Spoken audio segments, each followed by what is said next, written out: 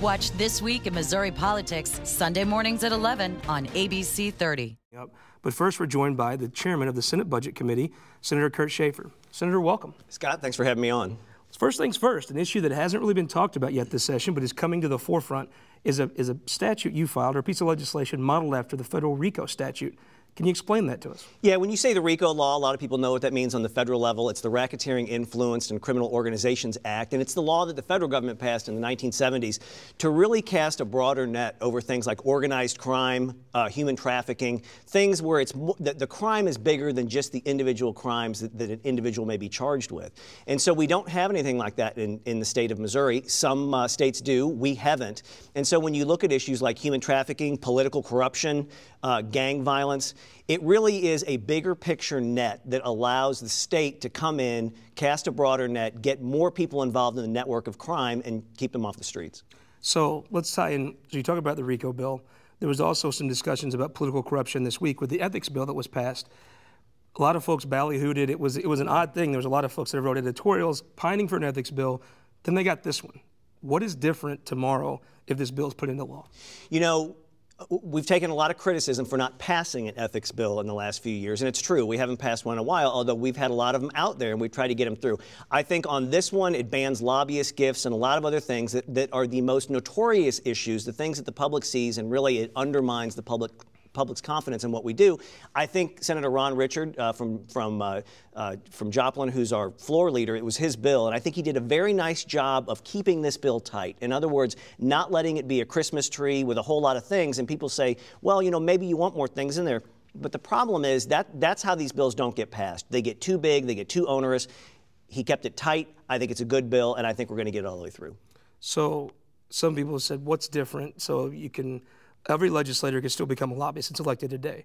So 10 years from now, a term limited legislator can no longer become a lobbyist. Is that right? Yeah, that's right. After the 2016 election cycle, there would be a two year waiting period, which that's been some criticism, is the re re revolving door, really, where people, as soon as they leave office, they come in. That would be prohibited. Uh, and then also, uh, as I said, a lot of lobbyist gifts, other things that people see that really jeopardizes the way people feel about the legislature, those things would be banned as well seem to be a little bit of an inside Jefferson City feel to this. Eh, have you heard this? You're running for attorney general. You're all over the state. Do people come up to you outside of politics and say, "I really care about some ethics bill"? Well, I think they do. I, I, think it's interesting because a lot of people don't necessarily hit, tie that to their own elected official, mm-hmm. but they see it on a broader statewide basis. But I think it's necessary for us to get this bill moving, get this bill across the finish line to make sure that we don't lose the public's confidence. Sure. Uh, back to uh, you being the chairman of the budget committee. So you've been the budget chair for four sessions now, past four budgets, is that correct? Yep. Well, this is actually the budget we're working on now would be the fifth budget. The fifth budget. The past four have all been balanced, right? Correct. Absolutely. What's this year's budget look like? You know, the, the 2016 budget, we don't go by calendar year. We go by fiscal year that starts July 1st. You know, it's a tight budget, but we're projecting about 3.6% general revenue growth for the state of Missouri for 2016. That translates into about 300 million extra dollars of, over what we had this year.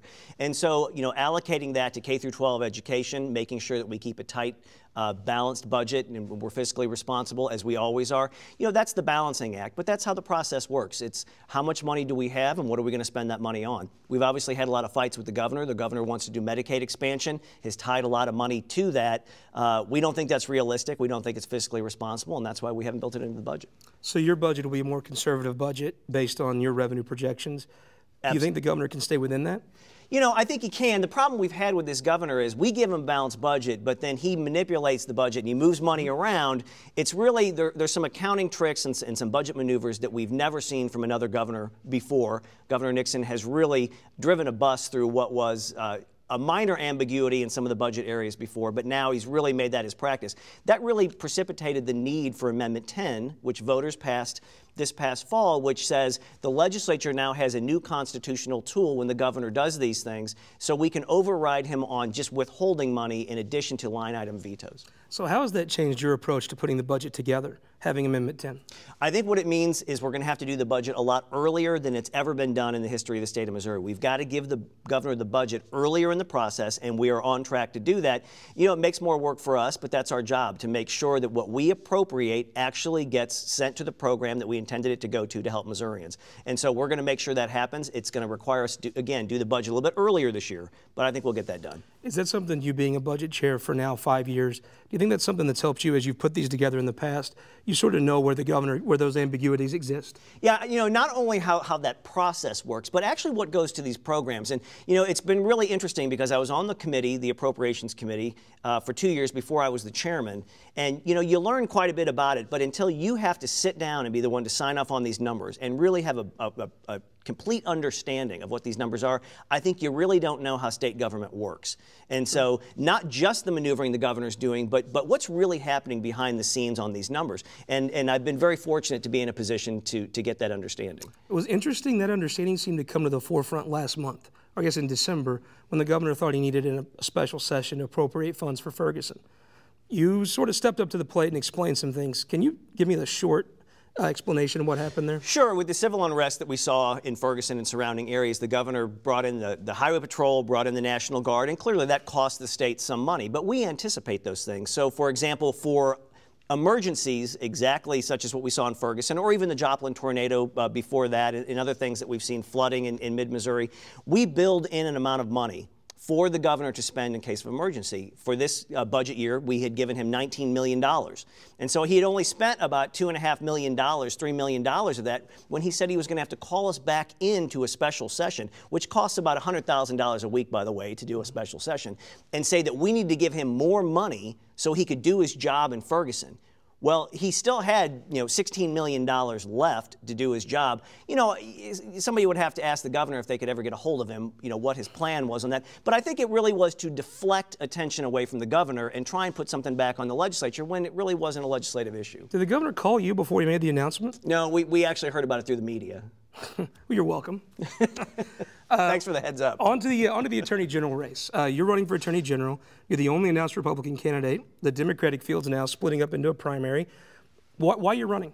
You know, I started my legal career 20 years ago as a prosecutor in the Attorney General's office. I was both a criminal prosecutor doing death penalty cases as well as a number of other cases uh, in that office around the state, uh, complex civil litigation, the whole host of things that the Attorney General's office does in the state of Missouri. I've pretty much done all of them. And uh, in my years of private practice, I really have always kept a focus towards that Attorney General's office and tying that back in with my desire to be uh, a, a, public servant and to be back in the public sector, there are so many things that I think we could do with that office to protect Missourians. And I think the RICO bill that I filed is a good example. So whether it's human trafficking, organized crime, political corruption, which again, you know, that's the thing we're talking about with the ethics bill, but it really comes down to, okay, what's the hammer? If somebody does get on the wrong side of this issue, what do you do? Well, it's a, that's a good example of what the Attorney General could do to make sure that we stop human trafficking, stop political uh, uh, corruption. It, it's a great job if, if you're in a position of having the experience to fight for Missourians, you've been in Missouri courtrooms for 20 years, as I have, and you want to use that experience in a way that you believe will best serve the people of the state of Missouri, and in a way that, frankly, uh, you know, there's not a lot of people out there who have a combination of that experience, including being appropriations chairman, understanding how these programs work, where there's some manipulation in the budget, where there shouldn't be, and bringing all that together to make sure when you walk into that courtroom, you're fighting for Missourians and you know what you're doing. Well, the, the current Attorney General, Chris Koster, was a prosecutor before. Do you think that's almost a thing that you should definitely be, have in, in, your, in your background to, to be the Attorney General of state? I absolutely do. And when you look at the number of cases, that's certainly a, a, a, number of cases. The Attorney General's office does a lot of other things, including consumer protection, both civil and criminal. So there's some criminal cases there too. But it's so important. And you know, when you've been in the position that I've been in, where, where, for example, on a murder case, you have been in the courtroom and you have held the hand of a mother or a father or a sister of someone who's been murdered by a defendant sitting right there across the table. It is so important to know what that experience is, to know how that affects people, and to know how to work within that process to get justice for the victims. And so I, I, I, think it's a non-starter. I think you have to have that experience if you're going to do that job. Speaking of the campaign, how's it going? I mean, you're making the rounds in the state. How's the fundraising going? What's the the reception? It's going great. Uh, we, we're, we're doing very, very well. The response has been overwhelming. Uh, you know, for my Senate reelect and including my first Senate campaign, you know, we did very well in fundraising. We're doing very, very well on fundraising for the Attorney General's race. And as you know, uh, you know that's that's the part that a lot of people don't like to talk about, but it's certainly the part that makes it necessary to have the ability to get your message out there. So when you talk about things like who has the experience because they've prosecuted a death penalty case, because they put a murderer behind bars, you have to be able to get that message out there. Senator, thank you very much for joining.